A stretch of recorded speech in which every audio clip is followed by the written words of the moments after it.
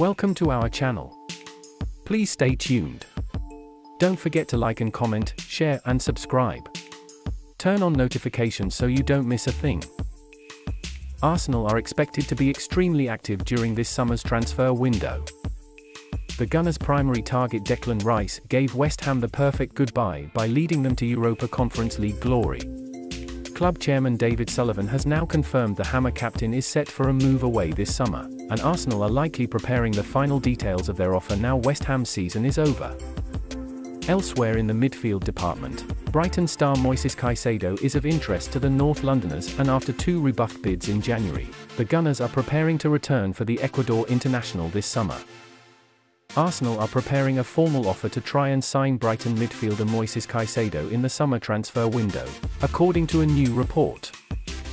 The Gunners submitted a £70 million bid in the January transfer window but saw that offer rebuffed, however they are now ready to return with an improved proposal. According to London World, a £75 million package deal is being put together to submit but it is not too different from the January offer that was rejected.